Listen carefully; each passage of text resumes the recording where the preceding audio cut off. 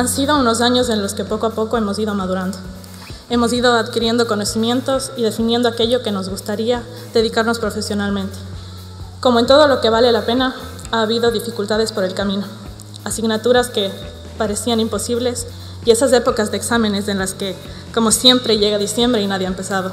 Pero siempre hemos acabado haciéndolo, quizás llegando a alguna recuperación, pero lo hemos conseguido.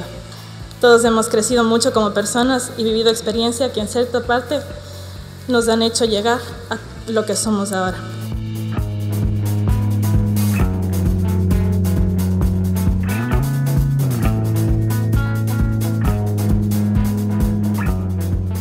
Ahora es el momento de detenerse antes de acceder a la empresa y sentar lo que queremos ser, hacia dónde queremos ir y sobre todo cómo queremos llegar.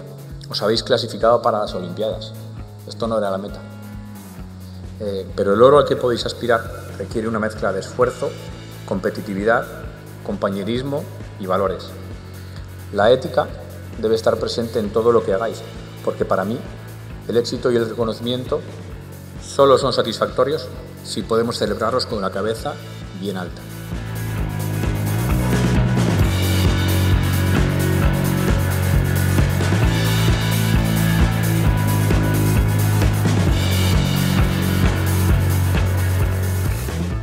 Poco a poco iremos construyendo nuestra carrera profesional, luchando por conseguir nuestras metas y finalmente la vida que queremos.